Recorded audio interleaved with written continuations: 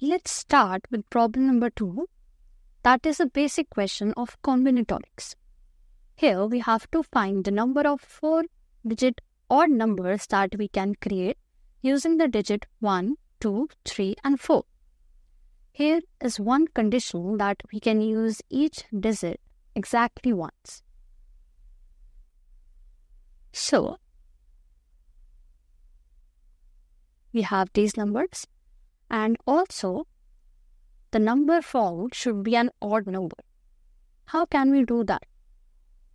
An odd number is the number that ends with or the one having one's digit as either 1, 3, 5, 7 or 9. Since here we have the condition of 1 and 3, we can form odd number using 1 and 3. So the only two possibilities of one digit or one's place will be 1 and 3 and the rest of the remaining digits can be permuted in 3 factorial ways as we have 3 blank spaces and 3 digits to put in the values. So that will be 3 factorial and 3 factorial.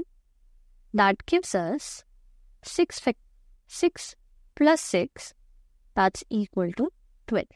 So there are 12 ways in which we can form four digit numbers from 1, 2, 3, 4 with odd numbers.